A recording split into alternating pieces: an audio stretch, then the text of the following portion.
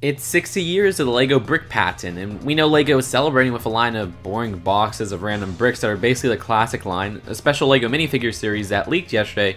It's a leak, so I'm not covering it for now, but it actually looks pretty bad. And then out of nowhere, this Forbes article comes out revealing more 60th anniversary sets.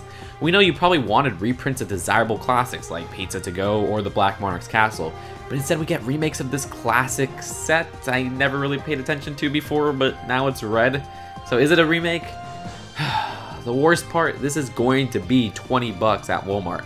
60 floor bland common pieces for 20 bucks. They're banking on this being a collector's item, so it does have beautiful retro packaging. There's another one, a windmill, which isn't even a remake. I mean, this guy on Brickset thinks it's a remake of this set, but they're pretty different. And it's 45 pieces for 20 bucks. Why? So look, I was excited to see what would come with the 60th anniversary of LEGO, but all we've gotten are overpriced and not so exciting sets that pay tribute to the early years of LEGO Brick. Like at least with the 50th anniversary, we got the amazing Town Plan set.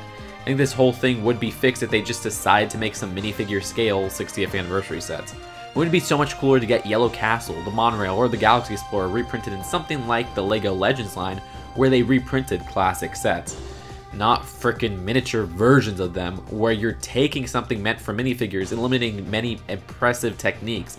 Like at least 50 years on track was a special scale that allowed unique techniques to flourish. That set was only given to employees. Oh, and I'm not even kidding with this. LEGO is releasing this classic set in the United States that has been out in Europe.